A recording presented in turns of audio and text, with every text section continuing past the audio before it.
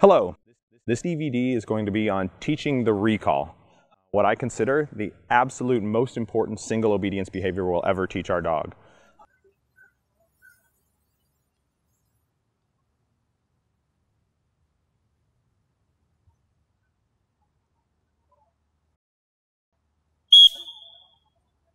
In dog training, we have lots of different things that we are interested in teaching our dogs to do. We teach our dogs to jump and retrieve and heel and sit and down, all of which are fun and useful behaviors, but none more useful than a solid recall.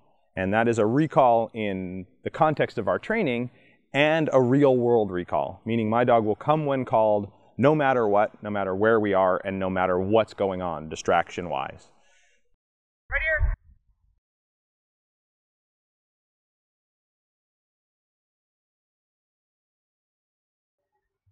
Perfect. Great, man. Beautiful.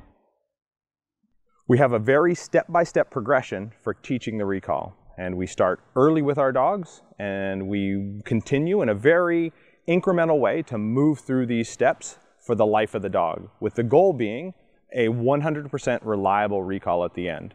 This DVD will cover all the steps in that progression from the ground up. So you'll get to see from puppy beginning inducive work all the way through the end where we add punishment and correction if necessary to finally proof our recalls.